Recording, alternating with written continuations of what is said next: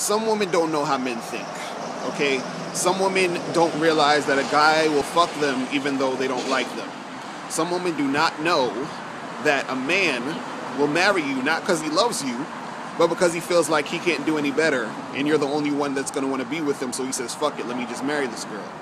There was a cartoon that I saw on Facebook um, the other day where there was a bear inside of a club and he kept turning the lights on and off. And every time he turned the lights off, the girl in the club would look good, but when he turned the lights on, she looked horrible. And I was looking through the comments, and there was a girl, a couple girls that basically said, I don't get it. It's because they don't understand how men think. When the lights are off, you look good in the club. When they come on, we see how unattractive some of you are. I'm, just, I'm telling you, ladies, ladies, this because you got to understand the game. Understand men, understand the game. You have better relationships, you have better dating lives. But a lot of y'all don't understand certain shit, which is why you are running around here confused. You don't understand men. And that's why you're confused. So understand men and learn the game. All right, Made is your boy, Mr. Locario, the bad boy of the dating game. Peace.